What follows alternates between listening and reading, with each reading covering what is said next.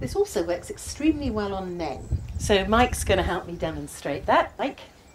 So arm out to the side. By the way, you can use either arm. It doesn't matter which one. I'm just using this for ease today. Um, Mike does have a, a watch on, so I'm going to ask him to remove that because that can get in the way. You want to be very comfortable when you are testing. Right, we'll get Mike into a temporary state of balance by tapping the thymus, arm out to the side. Oh gosh, I could hang off that for 10 minutes and it wouldn't, wouldn't go weak. We're going to hold this. Take a deep breath. Let's see how the body reacts to this. And hold. And it's weak. And believe me, Mike is strong, but that muscle has gone really weak.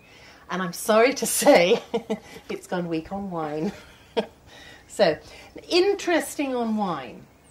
I would just take a moment to say that if you really like a glass of wine, go to your local um, off license or wherever you buy it. Once you know the self testing techniques, test which brand of wine suits your body because grapes are grown in various ways and wine is manufactured in, in so many different ways now and one of them might just suit your body chemistry. So don't despair. It might not be all wine mike. It might just be one. You know white wine or, or a few brands. So just test on those. Let's see. Get you nice and strong again. Hold this against you. Arm out and hold now that is really strong. That's garlic. So you can eat garlic, but not wine. Thank you very much, Mike.